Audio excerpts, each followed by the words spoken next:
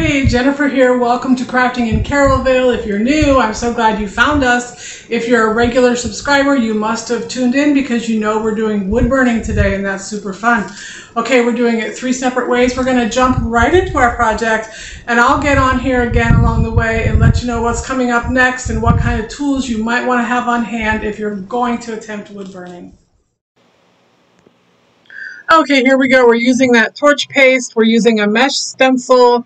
We have a little silicone squeegee that we're going to spread the paste through that stencil with. And our substrate today is a little wooden piggy that I cut out in my workshop. This was just drop-off wood that I had in my workshop, so it didn't cost me anything as far as wood goes to make this. And these mesh stencils will, will work through many projects if you take good care of them. Just wipe them down when you're finished and then rinse them off when you're finished with your entire project. You're going to see here I'm going to take that little silicone squeegee and I'm just going to squeeze that paste into this into the stencil through the stencil and as I go I'm going to be cleaning off um, cleaning off my excess paste because again I say this all the time we want a light even coat of our medium here because this is where we can control the burn. After this paste is gone and after you've lifted up the stencil, it's going to be too late to fix it. And so you want to keep it even because we're not actually burning the wood in this method. We're burning that medium. We're burning that scorch paste. So you want to get it even uh, now because if you have raised areas, it's going to bubble and it's going to be um, not a mess, but it's not going to be the outcome that you want.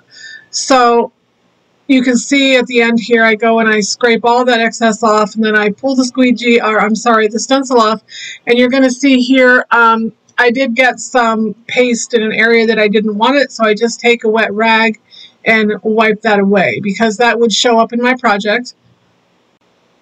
I'm using an open flame to accomplish this method. You could also use a heat gun, but I feel like it would probably take a long time because the heat from the heat gun is, first of all, it's not very directional, so it's a, it's a wide heat and it would be hard to concentrate your burning in the area of your actual image.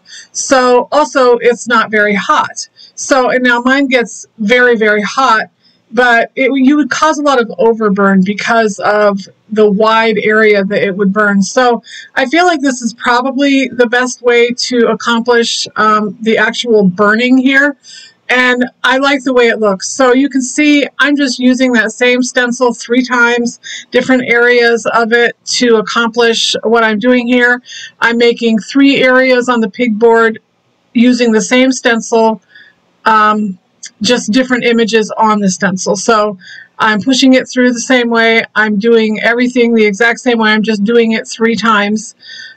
Again, if you want to use a heat gun uh, to make your heat more directional, you could attach a piece of aluminum foil to the front of your heat gun and narrow the opening as you go. So by the time you got to the end of your aluminum foil, it would have to be very narrow and you could concentrate your heat more that way. I think that would probably work. I didn't do that because this just seemed like an easy way. Also, save your money. Do not use Dollar Tree lighters to accomplish this. They just don't produce a big enough flame.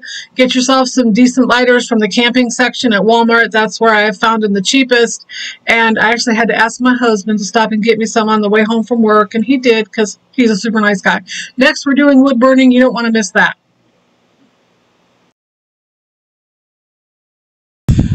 Right, so here I am. I hope that you enjoyed that first method, that's that torch paste.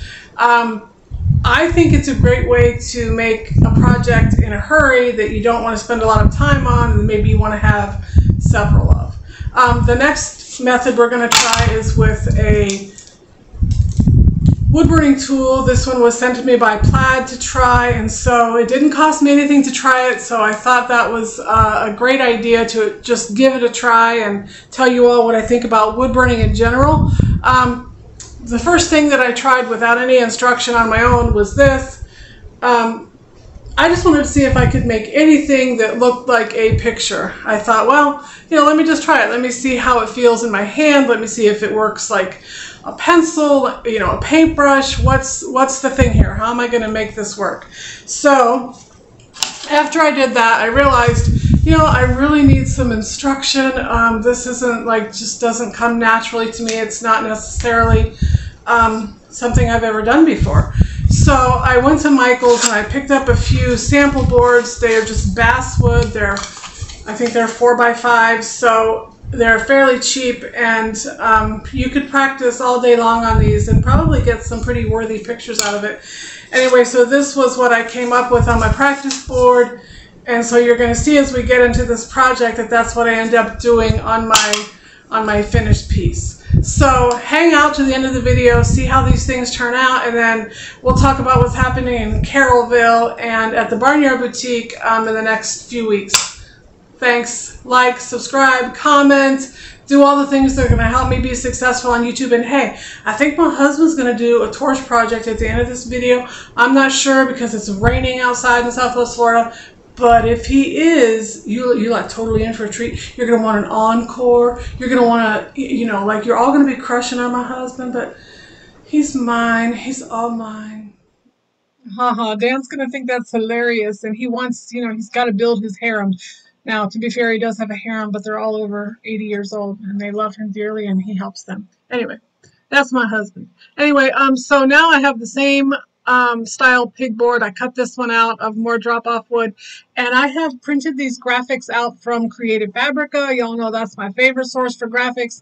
And I, I'm going to trace it onto my board with graphite paper. Now, if you don't have graphite paper, you could use carbon paper or you could just turn your image over and scribble with the flat side of your pencil all over the back of that image and you'll accomplish the same thing. Now, if you'll notice, I am only tracing the outside of those petals. I'm not tracing all those lines in the middle. The fewer pencil marks you give your project, the better, because you're going to have to go over all of those pencil marks um, and that's how you'll erase them at the end of the day. You're going to burn them right out. But you don't need all those inside marks. You're going to be an artist and you are just going to improvise those as you go. And I know you can do it because this is the foundation of your drawing. It's like the scorch paste that we put on. This is your drawing. And now you're just going to go back in with your heating tool, your, your wood burning tool, and you're going to put those lines in. So it's sort of like you're painting over these lines as you go. So I am being careful about how I trace it and, you know, I want an accurate picture, but I don't need all those inside lines. Also, I did watch um, another girl on YouTube do actual wood burning her name was Burn Savvy, and I will put her link in the description box because she's actually a professional wood burner. She knows what she's doing. I really don't. I'm just always willing to experiment. Just so you know, this will be my last experiment for a while. I'm going back to my tried and true because I have a show next month that we have to do. But it was fun. It was fun to do some new techniques and learn some new skills. Now, um, I wanted you to know that when I chose this graphic, I chose something that would be forgiving. Like you'll see these petals are not uniform. This is not um, this is not an image that has uniformity and you need that because we're going to need some forgiveness and grace as we go. Now I've taken my tool and these um, nibs they're called are the attachments that go on the end of your burning tool and I've chosen a skinny one because I want my lines to be fine and delicate. And I haven't sped this portion of the video up until now because I want you to see how I'm pulling the lines away from me. I'm not pushing with my wood burning tool, I am pulling. So there were four different strokes they're called that um, I watched. I, I can't remember her name. It's not coming to me. Um, her channel is called Burn Savvy, and she does a great job. So she actually does portraits, which is what I aspire to do. I really want to learn to do portraits. But anyway, so there were four strokes. There's this stroke where I'm pulling the line towards me. And if you try this, you will get to know the feel of the wood that you're working on. You will understand as you go how far you can drag that tool and when you have to start at it from a different direction. And you can see um, I'm just turning my board in the way that I want to pull. I'm not adjusting my tool, I'm adjusting the board. Also, there's a cord to contend with, you can see, so you have to work around that. But this is, I love how this is coming together. It's not difficult, believe me. You already have the picture right there. You've traced it on. So you're not really creating art as much as you're just um, replicating art. But I love this kind of art because nobody can say, oh, I can't do art. If you can do this, you've done art. You don't have to be an artist. You don't have to be an accomplished artist to accomplish art. So now you can see I'm coming in with the same thin nib and I am putting in those strokes. Now, if you can see on the first flower that I did there, I I lost the footage on that somehow. Um, and, and really, do we need to watch it three times? Probably not. So what you want to do is you want to create that same ombre effect that we talked about a couple videos ago when we painted a sunflower. I'm going to come back in and I'm going to darken those petals around the center of the flower because that is where the petals are naturally darker. And then they lighten as they come out. You can also see that when I make those strokes on the inside of the petals, I'm following the lines of the petals. I'm not just making random strokes that don't make sense. I'm not cross-hatching. I'm following the line of the petal. You can see that. And then in the middle here, I'm just going to go and I'm going to make circles all the way around the inside of the flower there. And if you can't make, if you can't use your tool to make a full circle, draw half circles. Draw a half circle, then come back and finish it on the other half. Because it is, unless you have um, really smooth wood, it would be hard to make a full circle. Um, and this isn't basswood, this is just common board. I did take uh, a 330 sandpaper and I sanded the top of this. So basically, I polished the top of this board until it was smooth. So it actually felt smoother to the touch than the basswood does. Now, you can see I've, I've finished the insides of my petals. Now I'm just coming in and I'm adding those same fine lines to the tops of the petals and these are just, you know, for me, this was totally relaxing. I could just sit in my workshop and draw for hours. Um, I don't have hours into this project, but it certainly looks like I do because this starts to happen really quick. As soon as you get your image drawn onto the board, the rest of it comes together really quickly. I will say that if I do any further wood burning projects, I'm going to treat myself to an adjustable heat wood burning tool because I can see where I would love to know more about this. I would love to actually do a portrait or two this way. And so in order to do a great portrait, you need to do some shading. This particular tool does come with six different nibs, and there is a shading nib on there. I haven't even tried that yet, but I feel like without adjustable heat, it all relies on your ability to be quick and um, careful because there's really no erasing in this game here. This is all, you know, it's, you get one chance. But I feel like if you had an adjustable tool, you can adjust the heat and get some good shading. They do actually have a nib that's meant for shading. I think it's called a pancake nib and it's flat and I can see where it would probably get the job done but I'm still going to go for that adjustable heat um, wood burning tool. They're not super expensive. This one here it's made by Plaid and you can buy it at Walmart for I think it's between 18 and $20. Um, it is like a soldering iron. It's it's uh I mean it gets really hot, and you'll notice that as I'm going here, and I don't know if this is supposed to happen, like I've never done this before, the nib bends. And so if you see me off camera, I'm I'm actually using my needle nose pliers to unbend it. And since it's hot, it lets me do that. So you get like you get like points as a wood burner if you do this project. And I feel like you should get some points as like a blacksmith maybe. And what are the other things? An iron worker, like forging, is that what it's called? I don't know. We're not going to do any of those things. I'm just saying it stops right here. Like I'm done with experimenting until the end of shows. Now, if y'all got ideas that you want to see done and you want to see some experiments, you want to see some new methods, wait till after October and I got you, okay? Actually, make it till after January and then I got you. Now you can see I'm doing a stippling method here after I've drawn all those circles into the middle of the flower. I go back in with just the very tip of my nib and I stipple all those small little details into the center of the flower.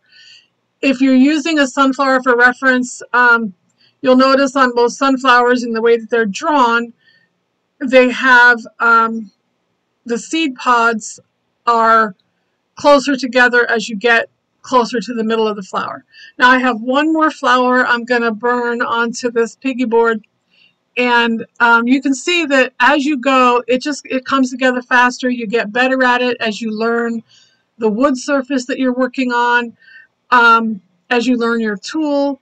It just comes together. I love the way that we literally started with a piece of wood and a wood burning tool two simple tools. And now look we have a beautiful picture burned on our piggy hey, if y'all are interested in those pig boards, um, let me know because I do make those. I make them um, several times a year and they sell like crazy. I've, I've done them a bunch of different ways at this point. This is the first time I've ever uh, wood burned one, but I do stencil them. I paint on them. I, I make them really pretty. And we are going to cover that in a video. We're going to cover how to do some wood cutouts, um, how to get a great pattern, how to enlarge your pattern um, so that you can make nativity scenes for your yard. We're going to do a lot of different things. Um, closer to Christmas time, we'll have some of those things because I don't know about y'all, but I love to give these kinds of things as gifts. And um, the closer to get, the closer that we get to Christmas, the more I'm going to be thinking about that. Anyway, so now I'm just I'm doing the leaf that's in there, and you know, this leaf that you see, you see my reference flower up there in the corner. Um, the veining in that is very delicate, and so we're just using a light touch. We're not pressing into the wood. We're just gliding along the top of the flower there. And now you can see here I am again, just coming in with those lines that come down from the tops of the petals and come out from the bottoms of the petals. I love the delicacy of this piece. And so when you look for your images on Creative Fabrica, and I'm going to leave you a link for my affiliate uh, down in the description box, I want you to pick yourself a pattern like this. If sunflowers are not your thing, then just type line art into the search bar and you know, I typed line art sunflowers. If you like uh, peonies, type line art peonies and they'll come up. But pick yourself a pattern that has some movements and some, you know, these flowers sort of look like they're um, blowing gently in a breeze. You want to pick something that has some forgiveness to it. Like you wouldn't even notice if you messed up on one of these because there's plenty of wiggle room if you were drawing the alphabet in a certain font on this pig face and you messed up, you would know it because that requires some uniformity. So until you get your skill level down, don't try anything that's going to aggravate you or intimidate you because at this point, I'm just learning to use this tool. I was hoping to create an image that I loved. I was hoping to do something that I really I really liked but that doesn't always happen the first time out. So give yourself a lot of grace and just keep working with it. If you need some encouragement, hey, you know, hit me up. I'll tell you, hey, you can do it. I know you can do it. And you know what? You're over here on YouTube because you think you can do it. You're figuring out how to do it. And I'm telling you this I have found in the world of art, because art is my wheelhouse, I can do it. If somebody else did it and I feel like, you know, yeah, that, I, I think I have all the skills I can I I need to do that particular thing, I'm really not afraid to try. And so you shouldn't be either. If crafting is your wheelhouse, if if you're artistic by nature, hey, try new things because guess what? You're going to be good at it and you're going to love it. Now, am I going to go over to some YouTube channels and figure out how to become an opera singer? No, I'm not. You know why? Because I shouldn't. That's not my thing. All right. Hey, guess what? Here's my husband. He is doing our third wood burning technique, and this is just straight up. We are torching this wood. Like, there's no pattern involved. It's just the pattern of the wood grain. We're not using a stencil. We're not. We're just taking a torch to it. And I love this because if you don't have time to stain boards, if you don't have time to watch paint dry, this is a great finish give to a board. You could paint over this. You could just about anything with it. Now, listen, my poor husband, I promised you, like, you know, the Dan show, but he is, he's not feeling well. He's got a, a bad sciatica right now, so he's in a lot of pain. And he actually came straight home from work, went to the doctor, and then came home in the 112 degree heat index to burn this for me. So he's plenty hot right here.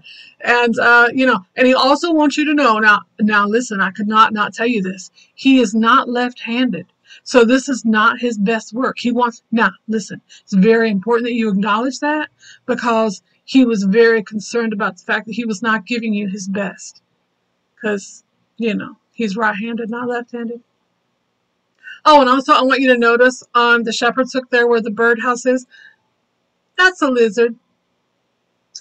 That's a gecko. He's doing his little mating ritual there. You see him? I hope he gets a girlfriend real soon. Hey, I hope you loved today's project. I hope that you'll give wood burning in, in one of its forms a try.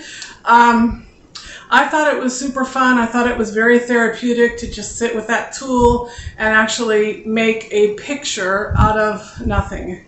Um, artwork always intrigues me that way because you literally start with a few tools and before you know it, you've created an actual piece of art. So I hope you were inspired to do something like that really soon. Um, just to let you know, we have our first show of the season coming up a month from tomorrow. So our videos from here on out until September 15th when we have our, our first show of the season will just be upcycles, um, thrift store flips. Um, I'm going to show you how I make things in bulk for shows. No matter what it is, I'm going to make 30 of them. So I'm going to show you how I do that and um, it's not going to be it's not going to be boring. It's going to be something new every week. You're going to love it especially if you craft for resale. If you craft for resale you want to pay attention because we're going to have some things that you can do in a quick hurry um, for uh, the least amount of money. So we're talking high profit margin projects that will get you to your first craft show or help you in your craft shows that you've already taken on.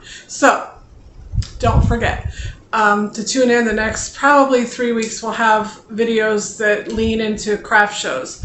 Um, don't forget to like comment subscribe. I'm meeting a lot of you. I've been able to talk to several of you as we go. I really love that. I love learning your names learning who you are um, what you like and what you want to see. So just comment below. Tell me which which um, wood burning project you like the most and which one you're going to be willing to try in the next few weeks. Um, don't forget to stick around to the end of the video so you can see how the projects turn out. I'm going to stage them in my home for you so you can see how they look in a home setting. We'll see you next time.